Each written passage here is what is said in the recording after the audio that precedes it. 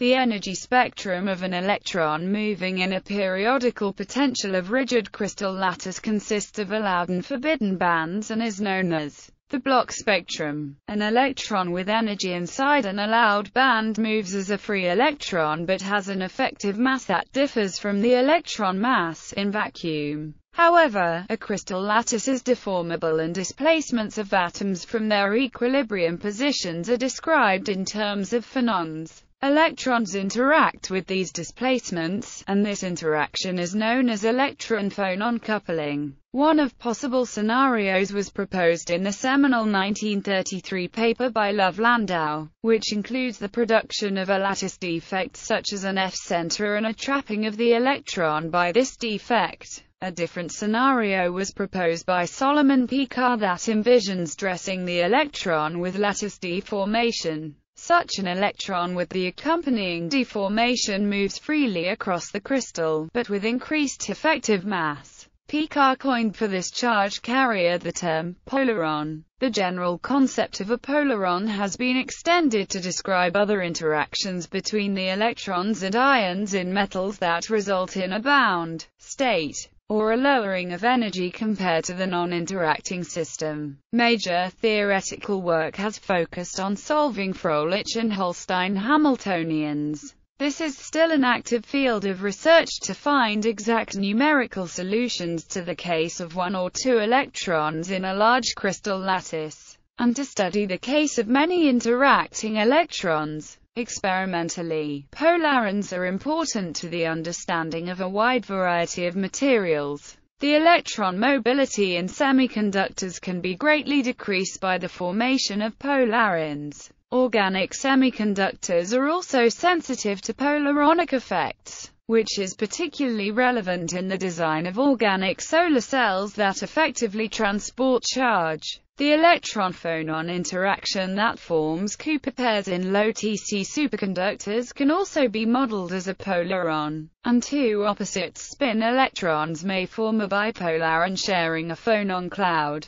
This has been suggested as a mechanism for Cooper pair formation in high-Tc superconductors. Polarons are also important for interpreting the optical conductivity of these types of materials. The polaron, a fermionic quasi-particle, should not be confused with the polariton, a bosonic quasi-particle analogous to a hybridized state between a photon and an optical phonon. Polaron theory. LD. Landau and S. I. Pekar formed the basis of polaron theory. A charge placed in a polarizable medium will be screened. Dielectric theory describes the phenomenon by the induction of a polarization around the charge carrier. The induced polarization will follow the charge carrier when it is moving through the medium. The carrier together with the induced polarization is considered as one entity, which is called a polaron. A conduction electron in an ionic crystal or a polar semiconductor is the prototype of a polaron. Herbert Fröhlich proposed a model Hamiltonian for this polaron through which its dynamics are treated quantum mechanically. This model assumes that electron wave function is spread out over many ions which are all somewhat displaced from their equilibrium positions, or the continuum approximation. The strength of the electron-phonon interaction is expressed by a dimensionless coupling constant alpha introduced by Fröhlich. In Table 1 the Fröhlich coupling constant is given for a few solids. The Fröhlich Hamiltonian for a single electron in a crystal using second quantization notation is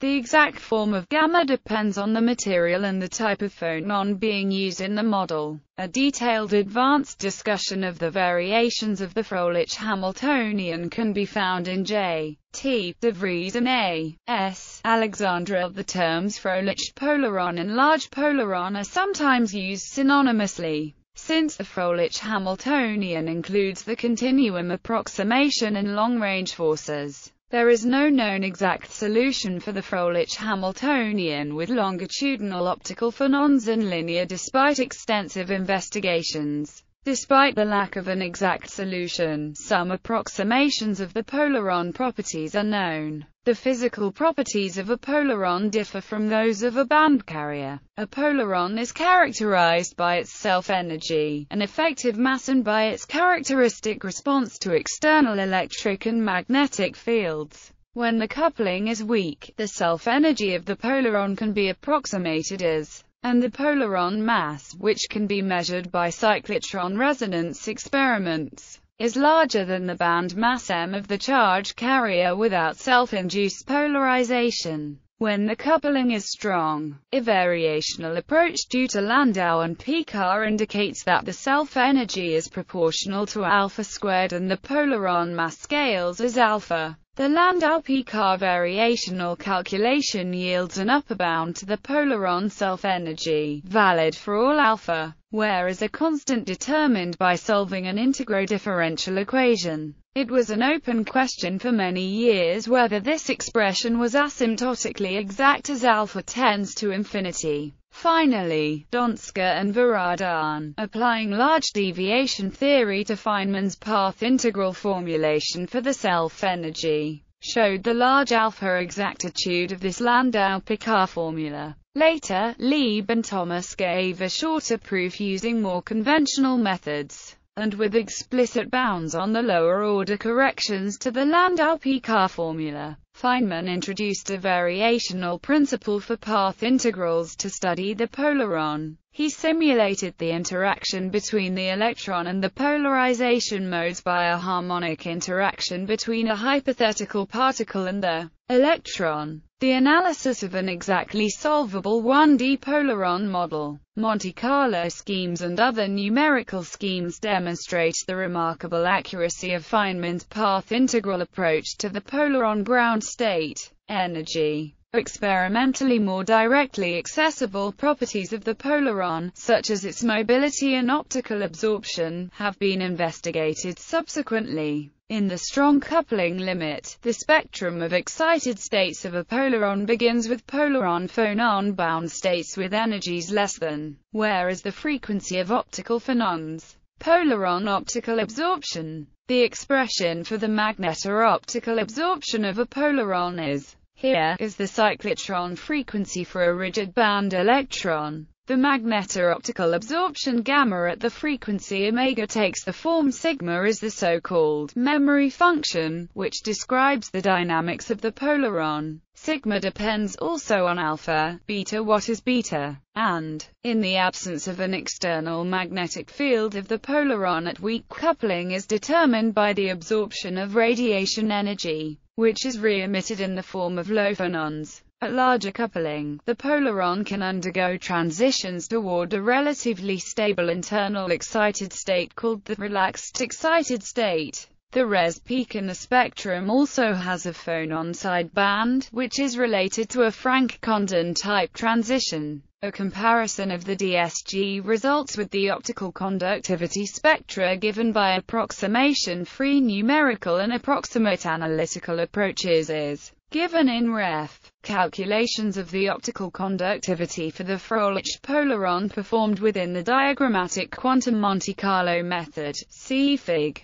3, fully confirm the results of the path integral variational approach that in the intermediate coupling regime the low energy behavior and the position of the maximum of the optical conductivity spectrum of ref follow well the prediction of ref. There are the following qualitative differences between the two approaches in the intermediate and strong coupling regime. In REF, the dominant peak broadens and the second peak does not develop, giving instead rise to a flat shoulder in the optical conductivity spectrum at this behavior can be attributed to the optical processes with participation of two or more phonons. The nature of the excited states of a polaron needs further study. The application of a sufficiently strong external magnetic field allows one to satisfy the resonance condition, which determines the polaron-cyclotron resonance frequency. From this condition also the polaron-cyclotron mass can be derived.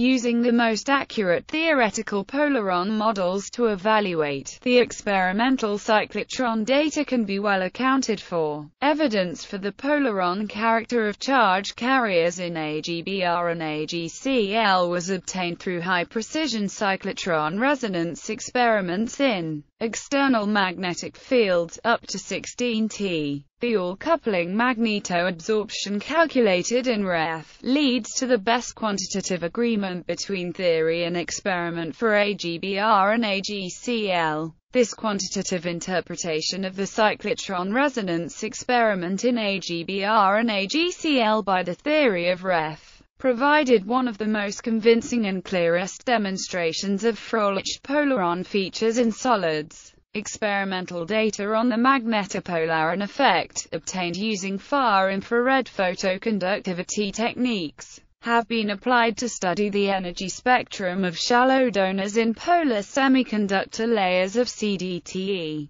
The polaron effect well above the low phonon energy was studied through cyclotron resonance measurements. G in EVI semiconductors, observed in ultra-high magnetic fields. The resonant polaron effect manifests itself when the cyclotron frequency approaches the low phonon energy in sufficiently high magnetic fields. Polarons in two dimensions and in quasi-2D structures. The great interest in the study of the two-dimensional electron gas has also resulted in many investigations on the properties of polarons in two dimensions. A simple model for the 2D polaron system consists of an electron confined to a plane, interacting via the Fröhlich interaction with the low phonons of a 3D surrounding medium. The self-energy and the mass of such a 2D polaron are no longer described by the expressions valid in 3D. For weak coupling they can be approximated as it has been shown that simple scaling relations exist, connecting the physical properties of polarons in 2D with those in 3D. An example of such a scaling relation is where, of, respectively, the polaron and the electron band masses in 2D. The effect of the confinement of a Fröhlich polaron is to enhance the effective polaron coupling. However, many particle effects tend to counterbalance this effect because of screening. Also in 2D systems cyclotron resonance is a convenient tool to study polaron effects. Although several other effects have to be taken into account, the polaron effect is clearly revealed in the cyclotron mass. An interesting 2D system consists of electrons on films of liquid He. In this system the electrons couple to the ripplons of the liquid He, forming rippler polarons. The effect of coupling can be relatively large and, for some values of the parameters, self-trapping can result.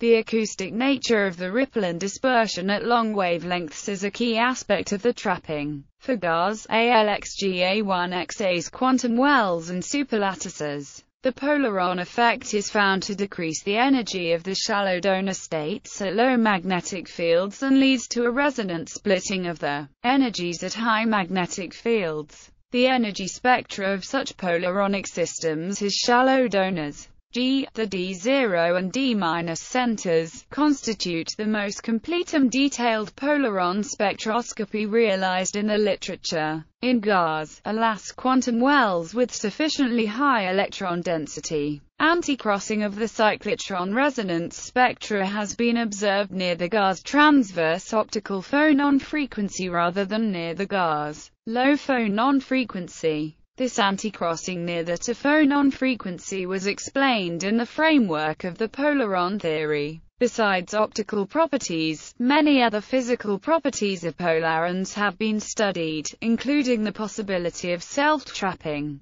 polaron transport, magnetophonon resonance, etc. Extensions of the polaron concept Significant are also the extensions of the polaron concept. Acoustic polaron, piezoelectric polaron, electronic polaron, bound polaron, trapped polaron, spin polaron, molecular polaron, solvated polarons polaronic exciton, Jahn-Teller polaron, small polaron, bipolarons and many polaron systems. These extensions of the concept are invoked G. To study the properties of conjugated polymers, colossal magnetoresistance perovskites, high superconductors, layered MgB2 superconductors, fullerenes, quasi-1D conductors, semiconductor nanostructures. The possibility that polarons and bipolarons play a role in high superconductors has renewed interest in the physical properties of many polaron systems and, in particular, in their optical properties. Theoretical treatments have been extended from one polaron to many polaron systems. A new aspect of the polaron concept has been investigated for semiconductor nanostructures. The exciton phonon states are not factorizable into an adiabatic product ansatz, so that a non-adiabatic treatment is needed. The non-adiabaticity of the exciton phonon systems leads to a strong enhancement of the phonon-assisted transition probabilities into multiphonon optical spectra that are considerably different from the Franck-Condon progression even for small values of the electron-phonon coupling constant is the case for typical semiconductor nanostructures. In biophysics Davydov-Soliton is a propagating along the protein alpha helix self-trapped amide excitation that is a solution of the Davydov-Hamiltonian. The mathematical techniques that are used to analyze Davydov-Soliton are similar to some that have been developed in polaron theory. In this context, the Davydov-Soliton corresponds to a polaron that is large so the continuum limit approximation is justified. Acoustic because the self-localization arises from interactions with acoustic modes of the lattice, and weakly coupled because the anharmonic energy is small compared with the phonon bandwidth. More recently it was shown that the system of an impurity in a Bose-Einstein condensate is also a member of the polaron family. This is very promising for experimentally probing the hitherto inaccessible strong coupling regime since in this case interaction strengths can be externally tuned through the use of a Feshbach resonance.